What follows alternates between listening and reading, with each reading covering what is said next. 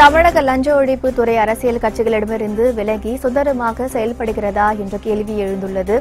கடந்த மூன்று ஆண்டுகளில் எத்தனை ஊழல் வழக்குகளை லஞ்ச ஒழிப்புத்துறை கையாண்டுள்ளது என்ற கேள்வியும் எழுந்துள்ளது. இது குறித்தான விரிவான தகவலை பதிவு செய்வதற்காக செய்தியாளர் மகேஸ்வரி நம்மோடு இணைந்திருக்கிறார்.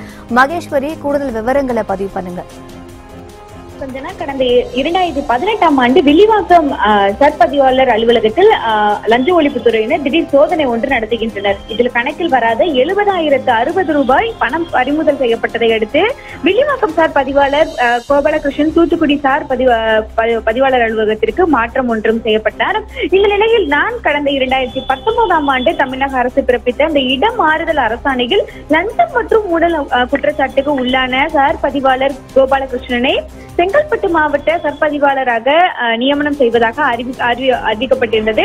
இந்த இடமாற்றமானது சட்ட விதிகளுக்கு புறமானது என்றும் லஞ்சம் பெற்று இந்த உத்தரவு பிறப்பிக்கப்பட்டிருப்பதாகவும் மேலும் இடமாறுதல் அரசாணையை ரத்து செய்ய வேண்டும் எனவும் கருப்பு எழுத்து கழகம் என்ற அமைப்பின் சார்பில் சென்னை உயர்நீதிமன்றத்தில் வழக்கானது தொடரப்படுகிறது.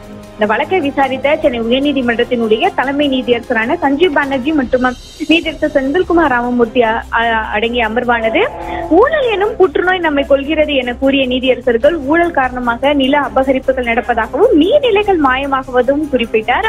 மேலும் தமிழக லஞ்ச ஒழிப்புத்துறை எப்படி செயல்படுகிறது என்ற ஒரு கேள்வியையும் எழுப்பினார்.